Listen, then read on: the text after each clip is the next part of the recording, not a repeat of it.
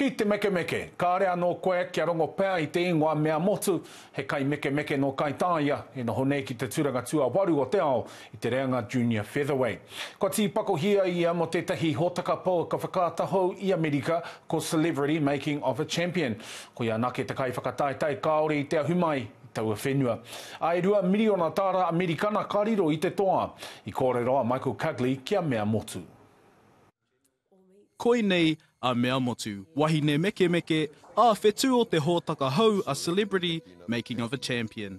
Hei tā tēnei uri nō Kaitaia ko tana tū Māori whakahī nei te take i kōwhirihia ai e ia ki tēnei whakaaturanga. In America they've never heard of New Zealand, they don't know nothing about New Zealand,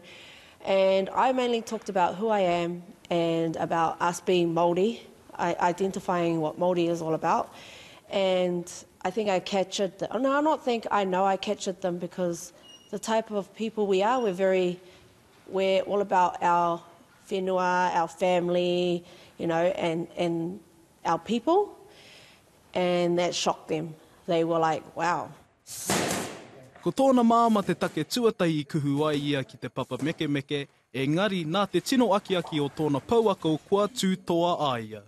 I never thought I would be a pro fighter until I met my coach Isaac Peach and from the day I walked into his house he told me I was going to be a world champion and that I'm going to be the best pro fighter in the world and I looked at him like you've never seen me fight!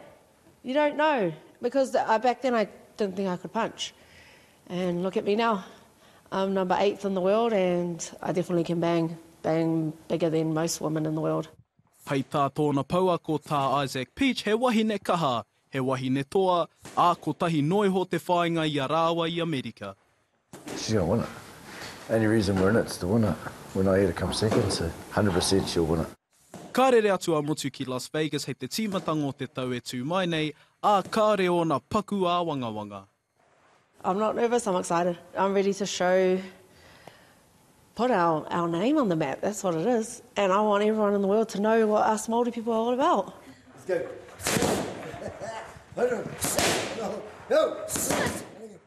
Hei tāna ki te toa i a ia te rua miriona tāra ka aro pū atu ia ki te whakawhanaketanga o te hākinakina nei, ā, ko te kupu akiaki ki te hunga e piki ana i te ara poutama o te mekemeke, kaua e tuohu, me piki tonu.